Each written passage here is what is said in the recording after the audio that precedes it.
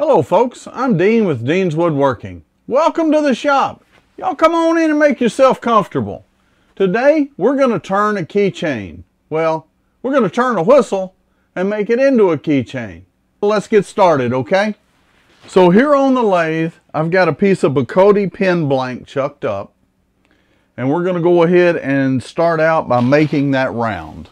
And we'll start off with uh, a 3 quarter inch roughing gouge. It up just a little bit.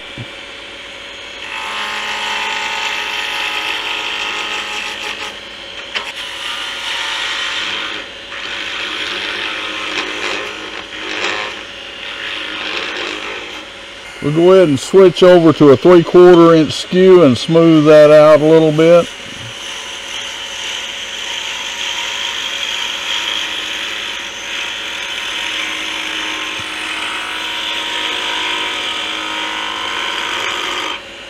All right, now that we've got that done, we're going to take a small piece out here on the end and we're going to turn that down to about 5 sixteenths of an inch because 5 sixteenths of an inch is the size we need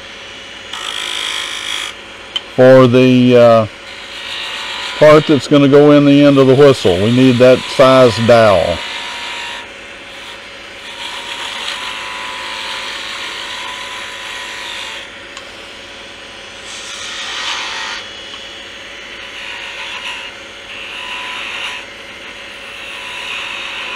So we'll just work that down until we get close.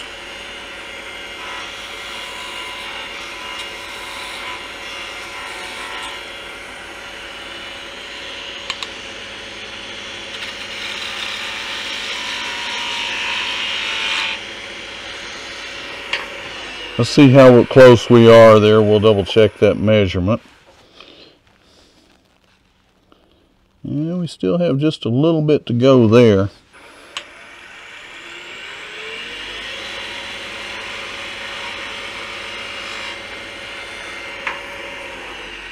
That may be real close.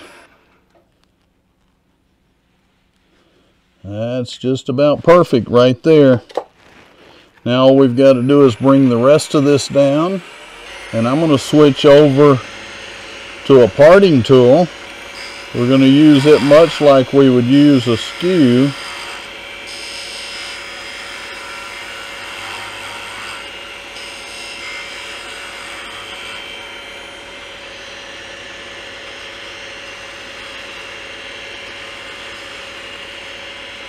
Hope you folks can see exactly what I'm doing there. Basically that's just a 1 8 inch skew for us when we use it like that. Now let's check our size here. Pretty good. Now that we've got that done, we'll take our uh, little saw here and we will cut that off. You know what? Let's do one thing before we cut that off. It's one of those things that seems like I forget every time and then I have to use a grinder. We're going to come in with a chisel. We're just going to put us a flat on this. Not, but about a quarter of the way through it. Okay.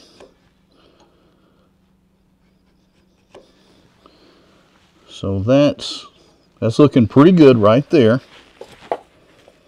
And with it still on this, it's so much easier to do because on a small piece like that, trying to hold it on a sander, even with a pair of pliers can be a little bit rough to do, okay?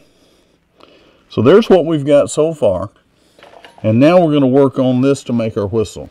I will set that piece back over there to the side. Go ahead and start the lathe up again. And basically what we're going to do at this point is we're going to come across here and we're just going to flatten that off.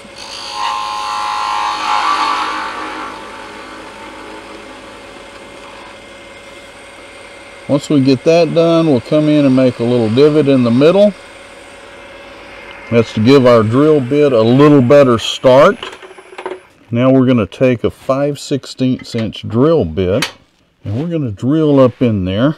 And at this point we probably need to make some marks. An inch and a half deep with this drill bit.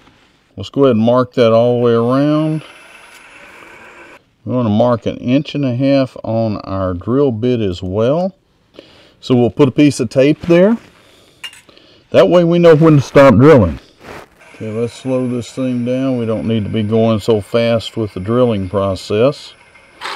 When you're doing this, you got a Jacobs chuck in the tailstock, hold on to that Jacobs chuck.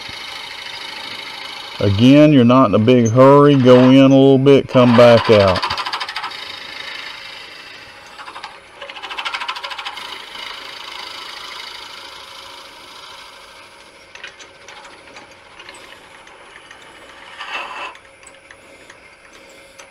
So we've got our hole drilled. We're going to put our cone center on the tailstock here. And we'll put that cone center right up in that hole that we drilled. And that'll kind of keep everything lined up. Now, one thing you don't want to do is get real rambunctious with how tight you make that. So one of the things about those little cone centers is they will uh, they will split that wood out before you can even think about it. We know our hole goes to about here. This is going to be the big part of our whistle. We'll tone it, we'll cone it down or angle it down here and put a little ball on this end and that'll be what's closest to the keychain. And this part here, well that's going to end up being our mouthpiece. So we're just going to bring that down.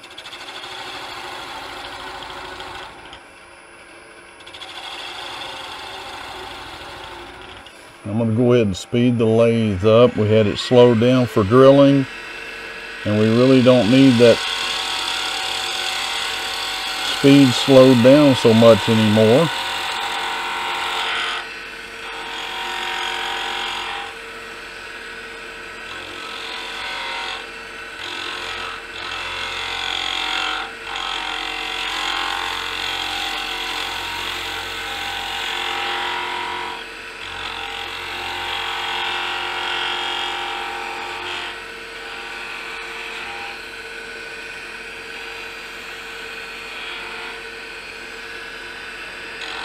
There we go.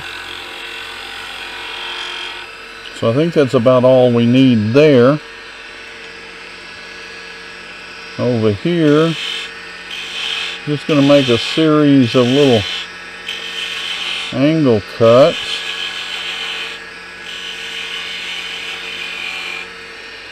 So that's angling down there.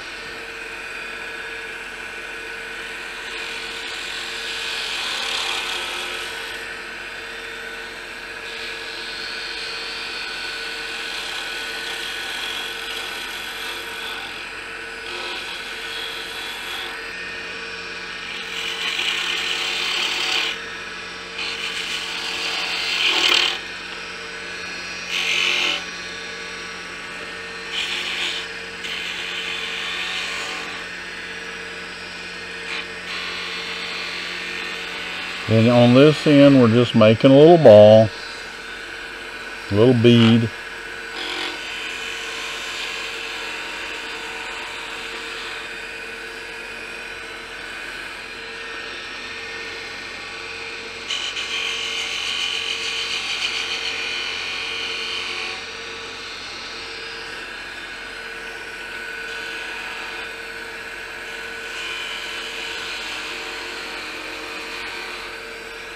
Okay, so that gives you guys an idea of the shape we're going for. Let's go ahead and stop, and there's one more thing we need to do right here. Again, we're going to go back to our saw, and we're going to come right in here. We're going to come up about a half inch or so, and we're just going to make a cut straight down.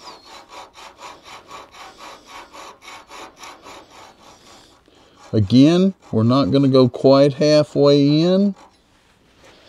We're going to come back and we're going to do another cut, oh, at about a 30 degree angle. Again, doesn't have to be real precise here.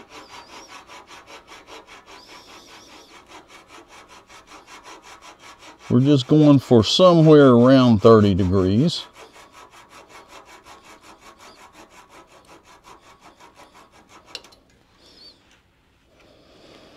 All right. Now we've got two things we need to do here. Number one, we need to sand this smooth. So we'll go ahead and do that. And normally I will do that by wrapping some sandpaper around my straight edge. And I'll show you exactly what I mean here. And what we're going to do is just come in and act like we've got a file here and just smooth that out. It doesn't take a whole lot of sanding, especially when you're using, I think this is 100 grit here.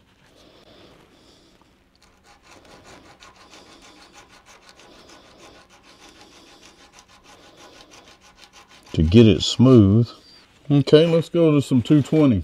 Here we've got some 150. Let's go ahead and we won't skip so much. We'll do a little 150.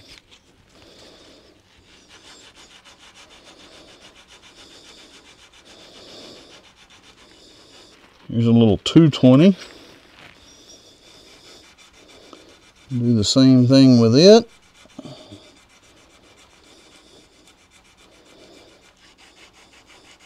And let's go ahead and hit it with just a little bit of 322.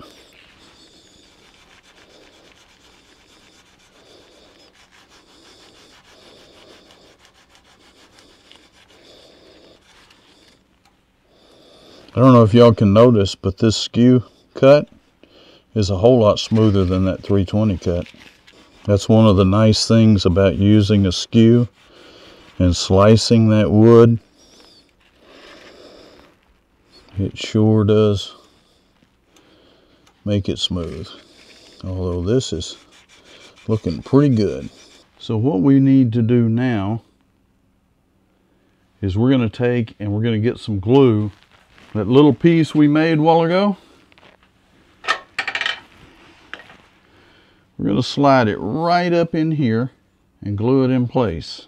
Now, you want the front of that to be just even or just a hair past this right here.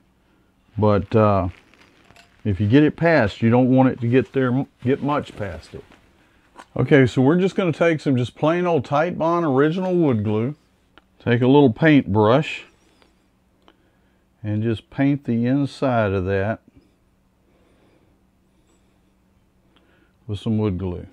Now that we've got that done, we put just a tad of wood glue on this and we're going to slide that right up in there. Slid it right up in there and what I'm going to do is I'm going to take and I've just picked up a piece of bark off the floor and I'm going to wedge that right in there. What that's going to do is hold that in place till that wood glue dries. Folks, we're going to give this just a few minutes for that wood glue to set up, and then I'll be back. We'll finish it. We'll put the keychain, key ring on it, and I'll show you how it works. While we're waiting for the glue to dry, if you like what you're seeing, do me a favor. Go down and click the uh, subscribe button.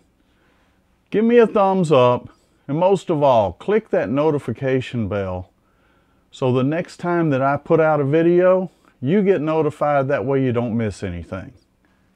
Okay folks, so the glue's had about 20 minutes to set there. We'll go ahead and we'll finish turning this. I see a couple of spots we want to smooth out. We didn't get quite as nice a cove as I'd like to have. So we'll work on that.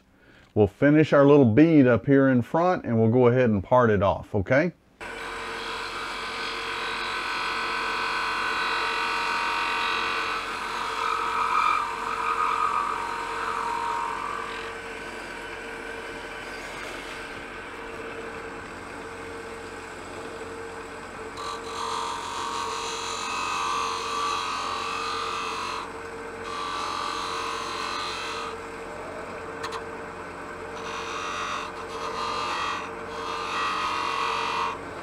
Okay.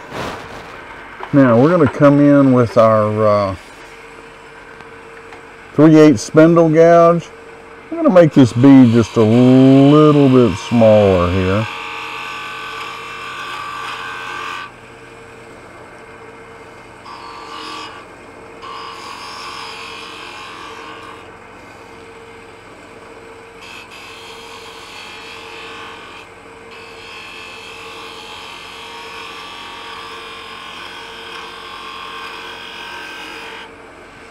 We're going to go ahead and take an opportunity to hit this with a little sandpaper. I believe we'll just start out with 220.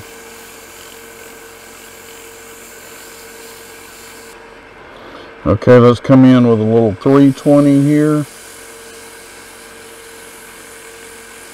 We're going to have to give that a little bit more time to set up. In the meantime, I'm going to go ahead and put some finish on this part here. Let's use just a little bit of antique oil. Okay, so this is a piece of sponge off of a sponge brush that just, uh, you know, it got used. The top part of the sponge has not got anything on it, so no more space than we've got here to finish. I'm just going to use that to go ahead and put the finish on this.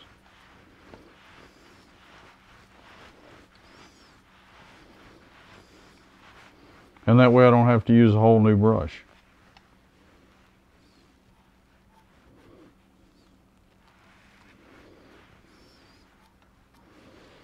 So we'll just let that set and soak in.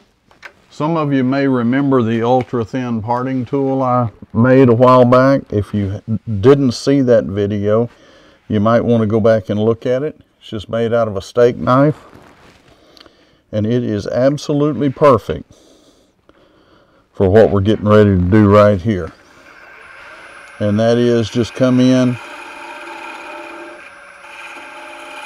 and take this off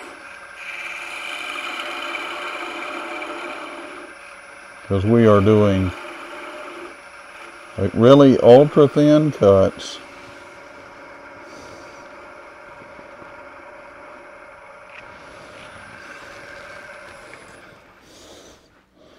Folks, here's the whistle. I'm going to take the sander and I'm going to sand this in just a bit. We'll go ahead and do that right now.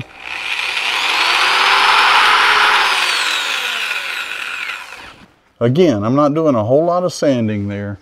Just enough to knock that tip off. We'll go ahead and dab just a little bit of finish there.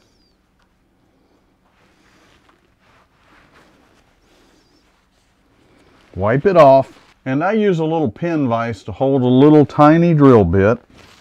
And if you take that pin vise and put it in a drill, now you can use that to drill right in the end of this to put your eye hook in. Now, the one thing I would caution you, this is a tiny little bit. It's easy enough to break. So you don't want to run it real fast and you don't want to pressure it. You put it in the center, you start it spinning, and you be patient. It's cutting, so don't press. Just let it cut on its own. Remember, it's a tiny little bit. It's not supposed to be drilling really fast stop every once in a while and check it. I've had people say, oh my God, that thing will break on you. Well, it will. If you put too much pressure on it, it will break on you. But if you just barely touch it, it will also cut this and do a good job on it and give you a nice little hole to start your uh, pin.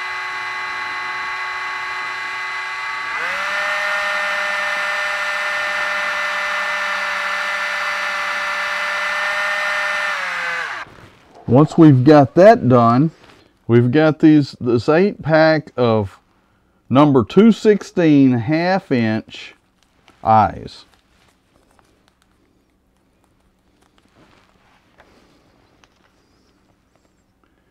That's what they are. 216 half inch eyes. And I think that eight pack was a couple of dollars, so they're not much.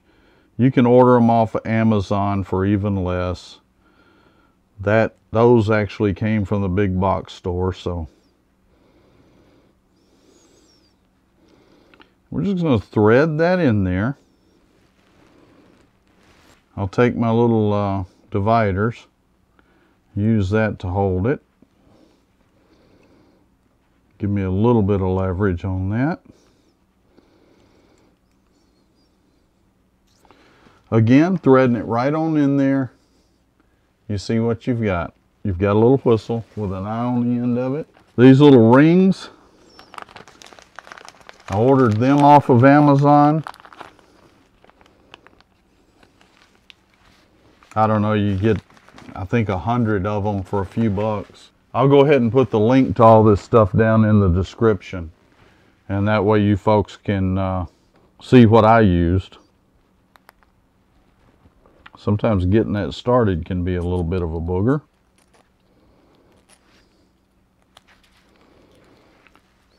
Ring in, key ring on it. Now we just got to see if the whistle blows. I'm not sure if our glue is set up yet. I'm going to try to pull this bark out. See if I can give you guys a an example of the whistle. Let's see if it uh, makes a sound. That's pretty loud, folks. Once the glue sets up, I'll go ahead and smooth this end off and we'll have us a keychain ready to go to the craft fair, give a family or friend. Whoever gets this, you know will enjoy it. Folks, I hope you enjoyed the video. Thank you very much for watching, but most of all, stay safe, stay healthy, and happy turning.